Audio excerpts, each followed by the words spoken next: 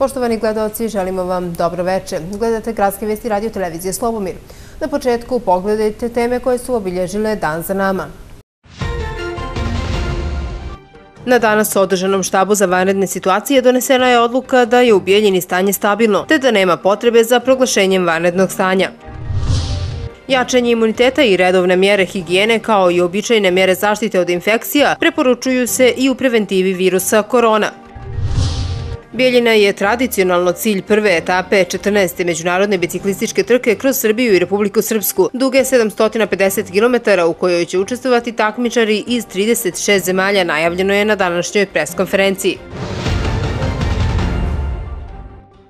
Još jedna politička senzacija u Bijeljini. U prostorijama Saveza nezavisnih socijaldemokrata je potpisan sporazum između SNSD-a i Partije demokratskog progresa u oči lokalnih izbora koji će se održati u oktobru tekuće godine. Potpis na jedinstveno političko djelovanje stavili su predsjednici gradskih odbora pomenutih stranaka Nedeljko Ćorić i Slaviša Marković. Politička situacija u Bijeljini svakodnevno poprima nove oblike i izaziva interesovanje građana, naročito pripadnike političkih stranaka. Apsolutni hit danas je bio potpisivanje koalicijonog sporazuma između dva dojučerašnja rivala SNSD-a i PDP-a. Nedeljko Ćorić, predsjednik gradskog odbora SNSD-a Bijeljina, rekao je da sporazum omogućava da kao koalicija urade potrebne stvari na lokalnom nivou koje ranije nisu bili u mogućnosti. Potpisali smo koalicijni sporazum koji podrazumijeva zajedničku saradnju u Skupštini grada Bijeljna do lokalnih izbora i podršku zajedničkom kandidatu za gradonačelnika i formiranje vlasti nakon lokalnih izbora. Smatram da smo danas svjesni svoje političke odgovornosti, svojih političkih obaveza, kao i političke situacije koje imamo u našem gradu, donijeli jednu ispravnu odluku, preuzeli smo i dogovorili smo se da preuzmemo teret tih političke odgovornosti na sebe, prvenstveno mi, SNSD, kao najveća politička organizacija u ovom gradu, kao lider političke scene u Republike Srpskoj i Bosni i Hercegovini i ovdje na lokalnom nivou, pozvali smo naše kolege prije pa dana iz Partije demokratskog progresa, usaglasili sa njima detalje oko koalicijalnog sporazuma i danas potpisali koalicijni sporazum. E, ova generacija ljudi koji se danas bave politikom ovdje u Bijeljni smogla je dovoljno snage da pređe preko nekih animoziteta koji su bili u prethodnom periodu da kažemo da nećemo da uh, nećemo da, da se vraćamo nazad i nećemo da govorimo o onim vremenima koja su bila onaj u prošlosti, hoćemo da zajedno gradimo bolju budućnost. Slaviša Marković, predsjednik gradskog odbora PDP-a Bijeljina, izrazio je nadu da će nova koalicija okupljena oko SNSD-a vladati u Bijeljini narednih par godina, a ne samo jedan mandat. Marković je istakao da su u protekla tri mjeseca očekivali poziv za koaliciju od aktuelnog gradonačelnika, ali gubitkom međusobnog povjerenja izgubila se i želja za saradnjom. Očekivali smo podršku, odnosno poziv i od aktualnog gradonačelnika, evo puna tri mjeseca nismo dobili, ako su pozivali van parlamentarne partije i potpisivali se njima koalicije, ostaje jedna žal da smo možda na kraju mandata ove skupštine izgubili neko međusobno povjerenje i sigurno to je pitanje za predstavnike Srpske demokratske stranke, zašto za ova tri mjeseca se nisu udostojili da razgovaraju sa predstavnicima partije demokratskog progresa I evo, mi smo danas definitivno nakon tih tri mjeseca prelomili i dogovorili eh, političku saradnju ovdje u Bijeljni sa Savezom nezavisnih socijaldemokrata. Mi ćemo sa predstavnicima Saveza nezavisnih socijaldemokrata u narodnom periodu zajednički dogovarati oko personalnog kandidata za gradonačelnika. Ova koalicija okupljena oko SNSD-a zajedno sa nama je sigurno mnoga snage da predloži jednog dobrog zajedničkog kandidata koji će sigurno pobijediti ovdje u Bijeljni. Ono što je još bitnije je da će ova koalicija, nadam se, vladati ovdje u Bilji ne samo jedan mandat, nego generacija ovih ljudi koji vode i SNSD i PDP po godinama i starašnoj strukturi jako mlada i očekujem da ova koalicija bude ovdje sigurno 3-4, ako ne i više mandata. Na održanoj preskonferenciji predsjednici stranaka se nisu izjasnili oko imena kandidata za gradonačelnika. Šta će koalicioni sporazum PDP-a i SNSD-a donijeti žiteljima Semberije, preostaje nam da vidimo na prestojećim lokalnim izborima. U gradskoj upravi održan je štab za vanredne situacije na kome je donesena odluka da je situacija u Bijeljini stabilna te da nema potrebe za proglašenjem vanrednog stanja. Komandant štaba Mića Mićić naglasio je da će vanredno stanje biti proglašeno samo ukoliko bude jedan slučaj registrovan. Komadant štaba Mićo Mićić izjavio je da situacija još uvijek nije alarmantna da bi se proglasilo vanredno stanje. Iako smo grad na granici sa državama u kojima hara virus, u Bijeljini nema zaraženih, a pojačene su i mjere opreza. Također, Mićić napominje da nisu zatvoreni kafići, ugostiteljski objekti, diskoteke i tržni centri, ali skreće se pažnja da građani budu maksimalno oprezni i vode računa o higijeni. Nismo donijeli odluku da proglasimo vanredno stanje, ali smo E, donijeli odluku da sve institucije e, upozorimo i obavežemo da u skladu sa preporukama vlade tako postupaju. Mi smo rubna opština, mi smo rizična opština, mi imamo tu blizu granicu, imamo nekoliko graničnih prelaza, e, imamo državu koja ima e, širenja zaraze i želimo da, kao što i Srbija zatvara granice, da i mi pokušamo E, spriječiti da dođe u e, zaraza ubijen. Mi imamo nekoliko ljudi, reće on to ljekari, koji su pod nazorom, ali nema niko obolio. Ako se desi da jedan e, naš stanovnik bude Eh, pozitivan, na koronavirus, mi ćemo sigurno proglasiti validno stanje. Mladen Grujičić, epidemiolog, ističe da građani treba da se pridržavaju osnovnih odredbi zaštite od virusa korona, kao što je pranje ruku u trajanju od najmanje 20 sekundi, da ih posuše papirnim ubrosima umjesto peškirima, te da u svakodnevnoj komunikaciji budu na rastojanju od najmanje metar i po. On je potvrdio da na području grada Bijeljina postoji 43 lica pod nadzorom, jer su došli iz inotranstva, ali da to nisu oboljele osobe. Na području grada bijenje semberije nema nijedan znači, potvrđen slučaj a, znači, infekcije koja je povezana sa novim koronavirusom, znači SARS-2, koronavirus tipa 2. Znači, nemamo nijedan potvrđen slučaj. Na području grada Bijeljne, da, imamo ljudi koji su pod nadzorom, ali to su osobe koje su došle iz inostranstva i koje se trenutno drže znači, pod nadzorom. To nisu obolile osobe, nisu to osobe koje su bile u kontaktu sa obolilim osobama. Najvažnije je da nemamo ni jedan potvrđen slučaj infekcije virusom korona.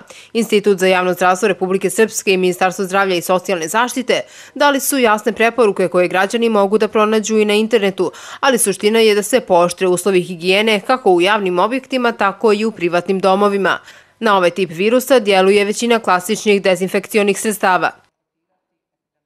Kod zaštite od koronavirusa, novog virusa koji je otkriven u Kini krajem 2019. godine, Preventiva je najvažnija. Odgovorno ponašanje prema sebi i drugima je prvi korak u suzbijanju epidemije. Pogledajte upute za sve građane kako bi spriječili infekciju virusom korona. Kada je u pitanju preventiva, građani bi trebalo da se ponašaju jednako kao i u slučaju respiratorne infekcije.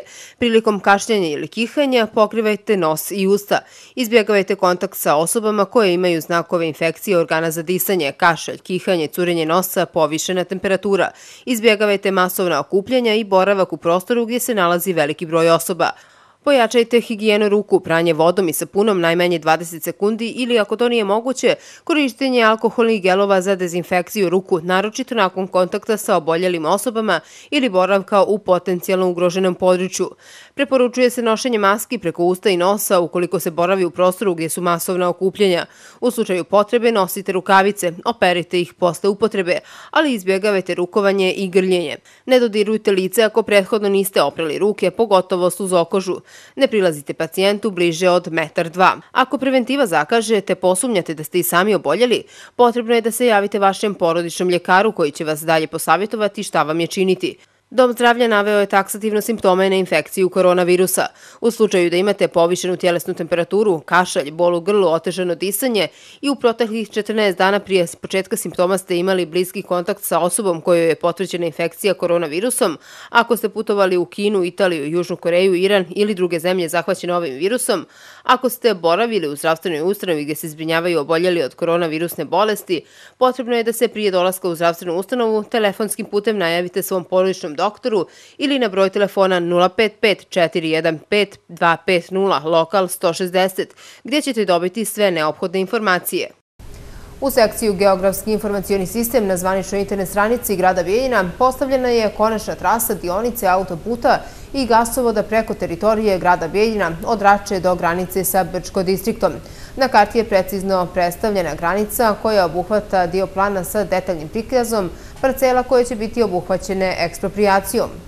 Bijeljina je cilj prve etape 14. međunarodne biciklističke trke kroz Srbiju i Republiku Srpsku duge 750 km, u kojoj će učestvovati takmičari iz 36 zemalja, najavio je danas direktor trke Vladimir Kuvalja. Trka će trajati od 22. do 25. aprila u četiri etape, a organizatori se nadaju da neće biti odgađanja zbog situacije sa virusom korona. Tradicionalna biciklistička trka Beograd-Banja Luka u prvoj kategoriji i samostepenicu ispod najvećih svjetskih događaja ovog tipa. U njoj nastupaju profesionalne ekipe, kvalifikaciona je za olimpijske igre i u kalendaru je Svjetske biciklističke federacije. 22. aprila karavan dolazi u Bijeljinu. Ove godine smo pripremili malo, da kažem, veći spektakl kad su pitanje publika u Bijeljini. Pored dodatnih programa, trka će da napravi nekoliko krugova kroz centar Bijeljina, što će sigurno biti interesantno za publiku, naravno i za trkače. Tako da će slika iz trajati i snimak i naravno trajati nešto duže, što je i cilj trke Berod Banja Luka, da i naravno svi drugi bislički trka, da se što duže zadrže u gradovima i da najbolji način promovišu gradove domaćine koji nam pomažu u organizaciji. Nakon toga idemo za Vlasenicu, gdje završava sigurno možda jedna najtežija etapa, vrska etapa, Bijeljna Vlasnica koja ide preko Lopara, Uljevika, Zvornika i završava se u Vlasenici, a sutradan, to je treća etapa, startuje iz Brčkog i završava u Tesliću, a četvrta etapa startuje iz Dervente preko Srpca Topole Gradiške i dolazi u Banja Luku nakon 180 km. Gradonačelnik Bijeljine Mićo Mićić izražava nadu da gotovo vanredna situacija zbog virusa korona neće dovesti do odgađanja trke u aprilu i poručuje da treba zadržati optimizam. Imamo podršku prije svega ljudi koji vole biciklizam, ljudi koji populišu ovaj sport i nadam se da neće biti odlaganje, da će tako i biti. Što se tiče generalno šta se može desiti, mislim da ćemo mi uraditi sve da ne dođe do odlaganja, ali neće biti naravno ovaj, do nas. Bijeljina tradicionalnu ovu trku podržava finansijski i organizacijono s ciljem popularizacije biciklizma i sporta uopšte kao i samo grada. Grad Bijeljina raspisao je konkurs za finansiranje jedne doktorske teze i dva magistarska rada ili njegova ekvivalenta u ovoj akademskoj godini. U konkursu koji je objavljen na stajtu grada navedeno je da će biti finansirana izrada završnih naučno-istraživačkih radova koji svojom strukturom i naučnim dometom mogu doprinjeti razvoju Bijeljine. Pravo učešće imaju kandidati koji po istom osnovu ne koriste ili nisu koristili sredstva Ministarstva nauke i tehnologije Republike Srpske ili drugog državnog organa ili ustanove Bosne i Hercegovine i inostranstvu. Kandidat treba da ispunjava i uslov da je na osnovnom studiju postigao najmanju prosječnu ocjenu 8.00, da nije stariji od 34 godine za magistarski rad ili 38 za izradu doktorske teze. Prednost prilikom odobravanja finansiranja završnih naučno-istraživačkih radova imaće kandidati koji su zaposleni na fakultetu, naučno-istraživačkom institutu u sastavu univerziteta i kandidati zaposleni u institutu od posebnog interesa koji nije u sastavu univerziteta, a koji učestvuju u nastavnom i naučno-istraživačkom radu u matičnoj ustanovi. Rok za podnošenje prijava je 21 dan. Na kraju posjećamo vas da je i dalje aktuelna anketa na sajtu RTV Slobomir. Trenutni rezultati su Mićo Mićić 17, Nedeljko Ćorić 89, Slaviša Marković 10 i Boban Lazić 64 glasa. Slijede informacije iz Elektrobjedine.